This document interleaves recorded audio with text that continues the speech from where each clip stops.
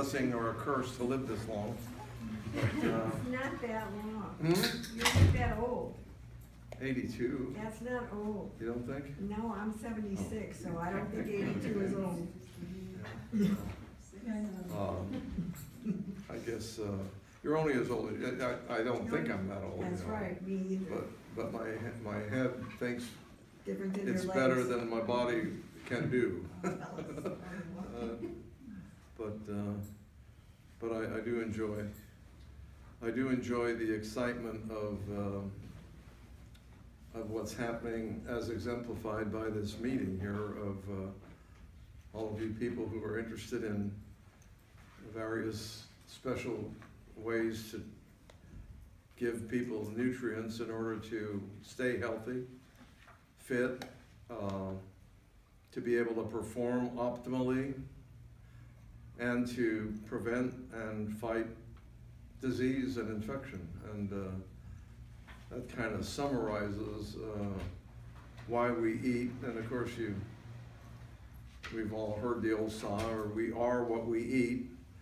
And uh, I guess when I got into the intravenous feeding, I demonstrated that to my amazement and satisfaction more than I ever knew about because I could change the way people looked, the way they thought, the way they performed by changing the components in the TPN solution.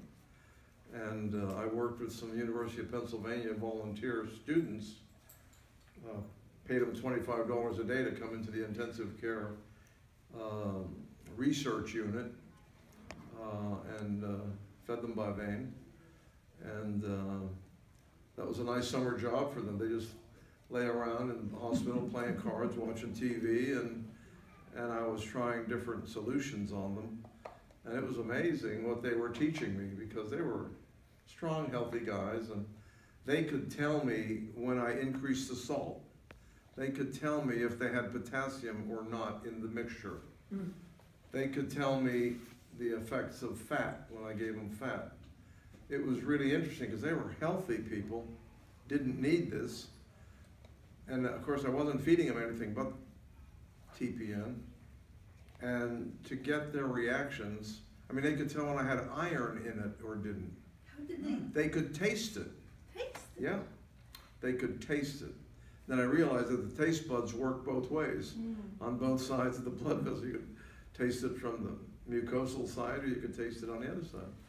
And uh, there are a lot of other things that work that way too.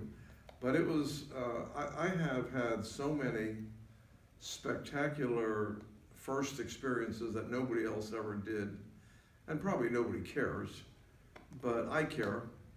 And there were times when I had the sheer feeling of joy of discovery. And people have asked me, you know, what motivated me. And although it wasn't the joy of discovery, that was a bonus.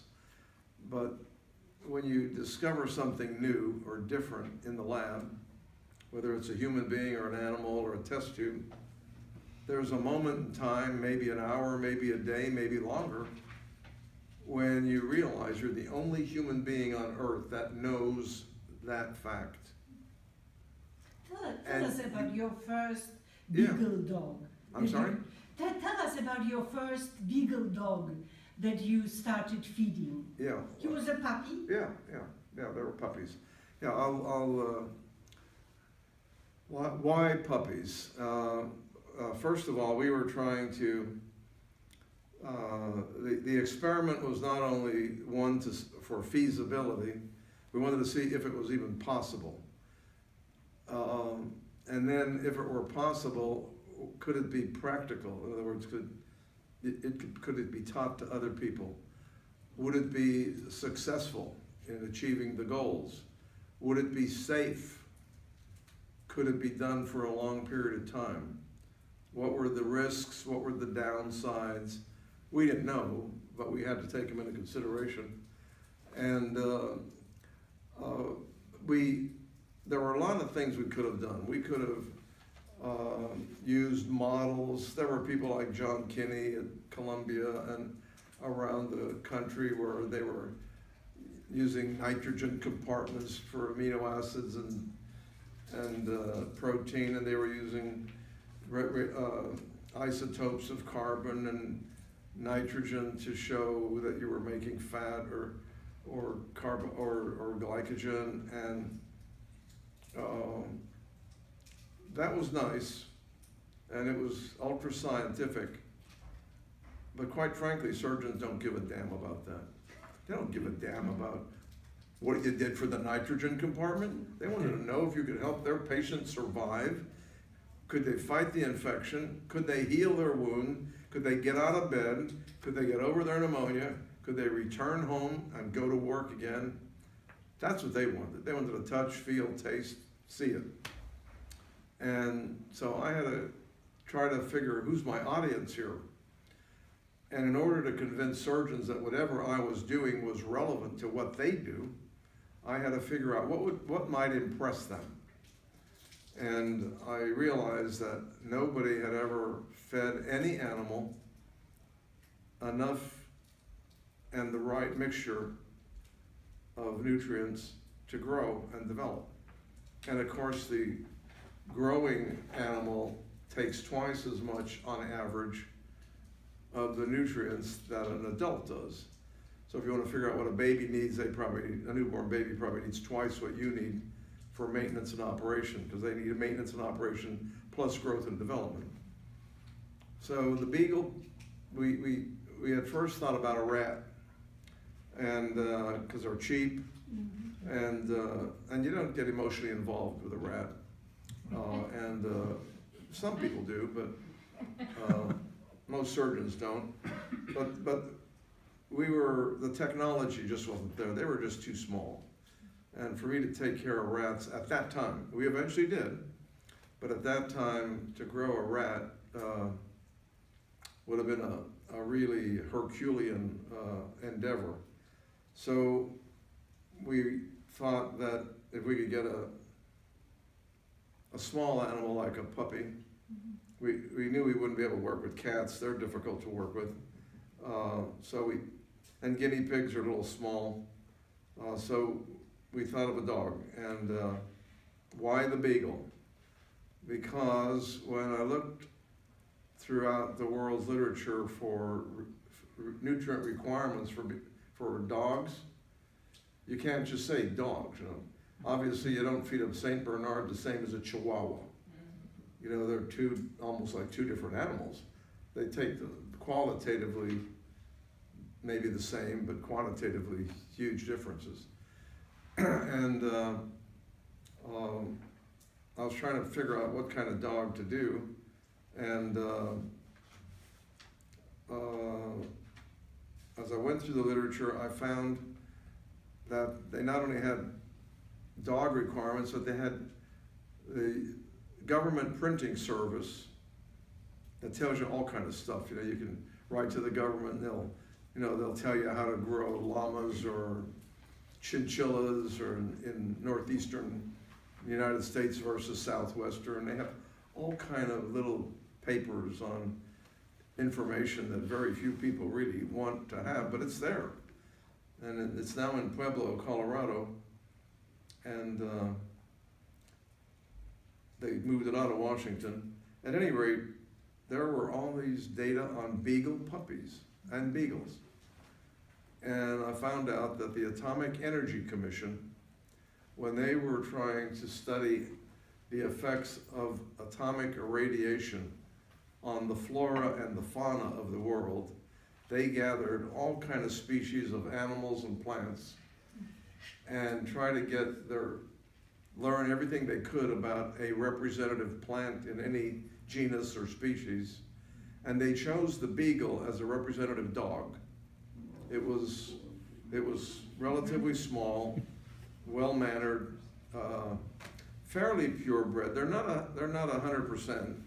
Now and then you'll get a beagle that, that's born with uh, dyschondroplasia, uh, and of course the, the person who breeds them quickly puts that put puts them down because they don't want you to know that they had an animal that was not perfect.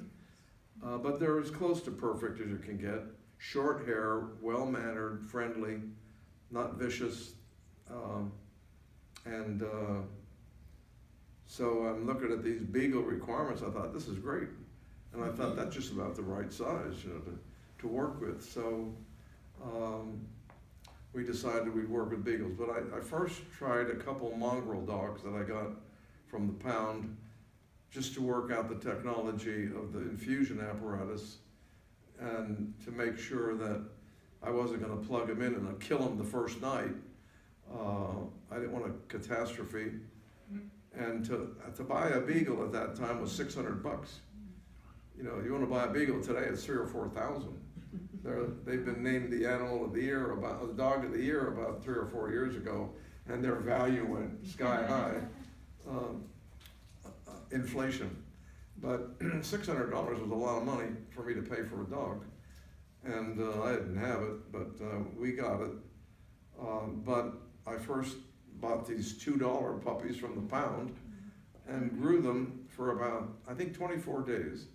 I just plugged them into my apparatus how did you, and, hmm? how did you, you put a central line into them? yeah, we, we, we put a, we put a catheter through the jugular vein and uh-huh. threaded it, the right jugular, and threaded it right down into the superior vena cava. It's a, mm-hmm. it's virtually a straight line. And And- how much, for how long did you have to infuse I'm sorry? them? How long you have to infuse them? How long did I infuse them? Yeah. Twenty-four hours a day. Yeah. So what did they were doing? Running with this? Yeah, I had, I had an apparatus that was counterbalanced. Swiveled, Huh. connected with a harness.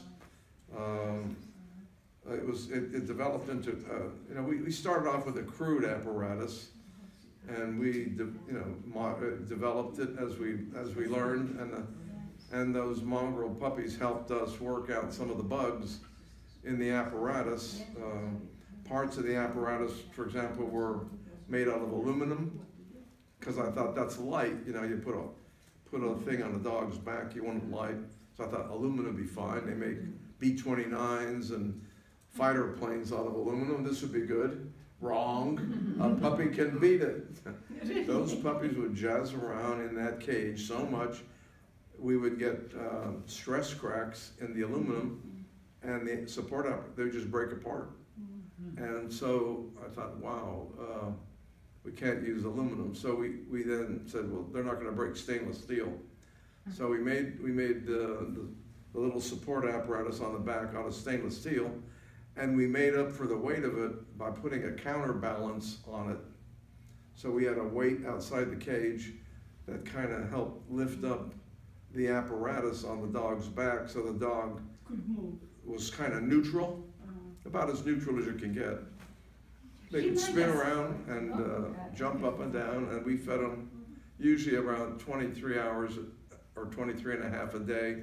And I usually disconnected them for a half an hour for humane reasons. I just disconnected them, put in a heparin lock, and I let them run around the lab.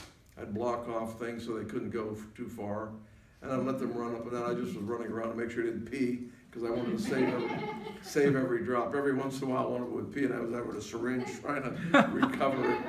But, uh, um, Dr. Dad, re- remind us, what year was it? I'm sorry, What year was it? what year was that? Nineteen sixty-four. Nineteen sixty-four. And, um, But no pump, this is gravity drip, I'm sorry? but no pumps, right? Or Yeah, was they were, we, we, we got, the Beagle pups were pedigreed animals that we got from, uh, a man in Norristown, Pennsylvania, north of, uh, north of Philadelphia. He had a farm up there, and, uh, he used to deliver the pups in a Cadillac. They, they were, they were classy dogs, and, But to get the, the, the nutrition, was it a pump? There were no pumps yet at this point, right? yeah, they So were, was they, we got gra- them, we got them after eight weeks, which is when the Beagle mother kicks them off the breast. I'm sorry, um, the pump, like the Oh, the connect- pump. The pump, What about it? were you using pumps at this point? Had they created those? Were there, I, I don't understand your Did question. you have a Gravity. pump or gravity? Infusion. Oh, pump, we had, it was, pu- it was absolutely controlled, it was, absolutely, right, never, we never used gravity. It wouldn't have worked, cause it, it bounces all over the place, Mhm. and, uh, so we had, we, we knew that the principles of that working were you had to use the entire twenty-four hours to feed. You couldn't just feed for eight hours or sixteen. if you wanted to give the animal the maximum amount possible, you had to use the twenty-four hours. And if you think about it, we were giving glucose, it was like a twenty-four hour glucose tolerance test for the sugar, a twenty-four hour amino acid tolerance test for the amino acids. It was, everything that we were giving was about the maximum you could give per twenty-four hours, so you had to use it. And we thought if we spread it out that way, the animal would be able to maximally utilize what we're giving and not waste it. And, uh, and that was, uh, that was the, the proper way to do it. Um, and we knew it had to be contin- continuous at that time in order to have control and to have comparability between animals.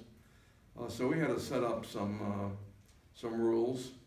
Um, our, our solutions were essentially the same, uh, very little change. Um, we, we had to make some changes as we went along, um, based on, on observations that we made. Uh, but, uh, eventually we ended up with a, a standard solution for beagles. Um, the, um, puppies were obtained at eight weeks. Then we fed them all the ideal Atomic Energy Commission puppy diet. And they watched, we watched them grow and develop to make sure they grew comparably. And uh, we had pictures and weighed them